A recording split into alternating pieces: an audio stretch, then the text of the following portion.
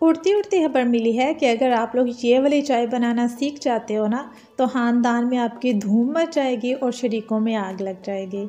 और चाय के दीवानों के लिए तो आज की रेसिपी स्पेशल होने वाली है।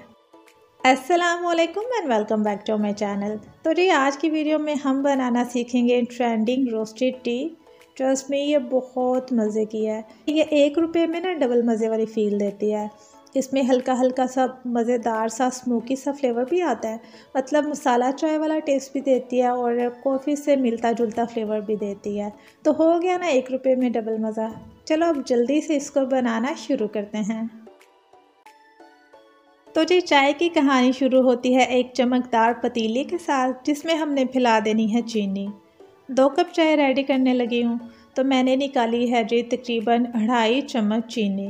कैरेमल चाय वाली रेसिपी की तरह इस बार भी चीनी को बहुत ही इंसाफ और तमीज़ के साथ पतीली के पैंदे में फैला देना है। और अगर आप लोगों ने कैरेमल चाय वाली रेसिपी नहीं देखी तो उसका लिंक लगा देंगे जी आई बटन में, या फिर डिस्क्रिप्शन बॉक्स में भी दे देंगे। आप लोग जाकर रेसिपी चेक कर लीजिएगा। एक चम्मच भर के यूज़ कर रही हूँ चाय की पत्ती, और इसको भी चीनी की तरह ही पैन में फैला देना है।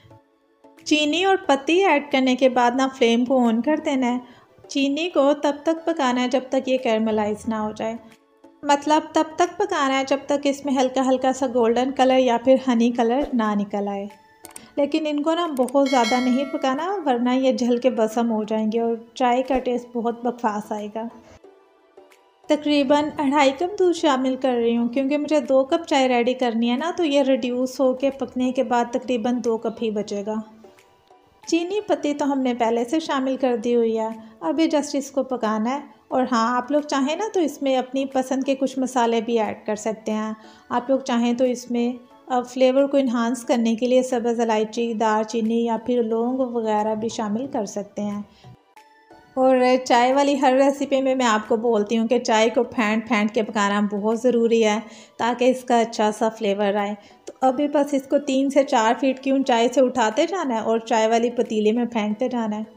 मज़ाक कर रही हूँ यार, इसको बस चार से पाँच मिनट के लिए फेंट फेंट के ऐसे ही पकाते रहना है, ताकि अच्छा सा फ्लेवर निकल के आए।